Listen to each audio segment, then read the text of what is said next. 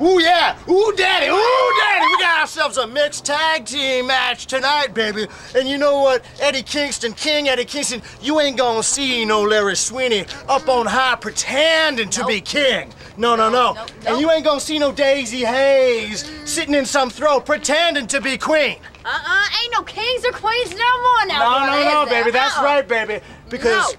we know we're good, because we got something you ain't got. We got something you ain't got.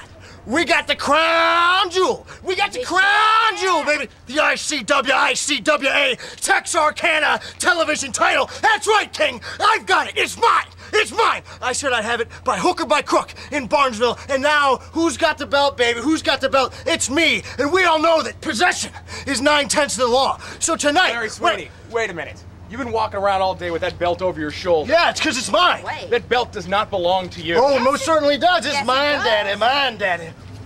I'm taking the belt back. What? No, you're not. No, you're not. No way. No, you want you want to take this belt from me?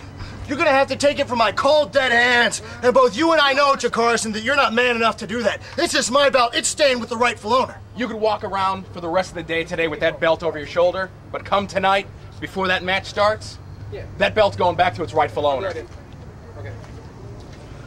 Well, we'll cross that bridge when we come to it, baby. but I ain't worried. I ain't worried. You know why, Sweet Pea? Because tonight the best-looking couple in Reading, Pennsylvania is Daizee Haze and her man, the Texarkana TV champ, and we're coming to bring it. Yeah.